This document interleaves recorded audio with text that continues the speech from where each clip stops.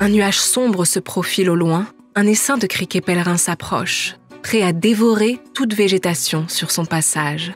C'est ce que des millions de personnes ont redouté entre 2018 et 2021, après que deux cyclones ont frappé l'Arabie saoudite, Oman et le Yémen en 2018, laissant un terrain propice aux populations de criquets, dont les effectifs ont été multipliés par 8000 avec chaque kilomètre carré de criquets pouvant ingérer l'équivalent de la nourriture de 35 000 personnes, la situation était critique. Les criquets se sont rapidement disséminés et ont eu un impact considérable sur la Grande Corne de l'Afrique, le Yémen et l'Asie du Sud-Ouest, tout en menaçant l'Afrique de l'Ouest.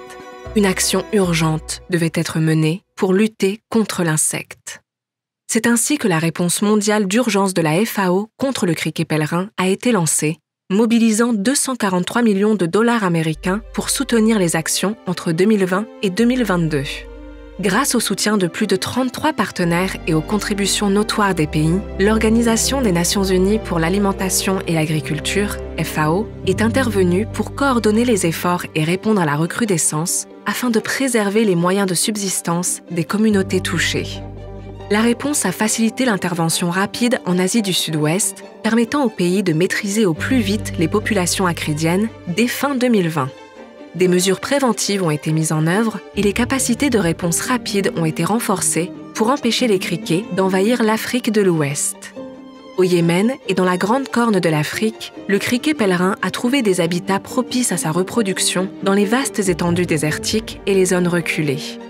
En raison des conditions météorologiques défavorables associées au manque de préparation initiale des pays, la région a subi les effets dévastateurs du criquet pèlerin, la reproduction de l'insecte n'ayant pratiquement pas été maîtrisée. Des efforts importants ont été déployés pour neutraliser la menace.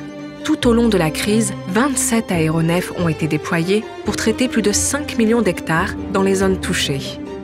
3800 personnes environ ont été formées à la lutte anti-acridienne par voie terrestre à l'aide de 162 véhicules et de 6600 pulvérisateurs. La réponse mondiale de la FAO à la menace du criquet pèlerin a permis de sauver 4,6 millions de tonnes de céréales, 900 millions de litres de lait et d'éviter une perte économique de 1,8 milliard de dollars, protégeant ainsi quelques 41,5 millions de personnes de l'insécurité alimentaire. Tout au long de la crise, la FAO a recommandé au pays de limiter les dommages collatéraux lors de la lutte anti-acridienne. Elle a ainsi encouragé l'homologation de biopesticides et de régulateurs de croissance des insectes dans les pays touchés. Cette approche a permis à des pays comme la Somalie de lutter contre la recrudescence acridienne en utilisant uniquement des biopesticides et des régulateurs de croissance des insectes, faisant ainsi figure de pionnier en matière de solutions plus sûres à grande échelle les commissions régionales de la FAO ont joué un rôle central pour aider les pays à faire face à la recrudescence en assurant la coordination régionale et en aidant à la triangulation des équipements. Au cours de la situation d'urgence, la FAO et ses partenaires ont renforcé les capacités institutionnelles des pays en se projetant dans l'avenir pour apporter des solutions à long terme. Au Soudan, un centre régional de formation à la lutte anti-acridienne a été créé.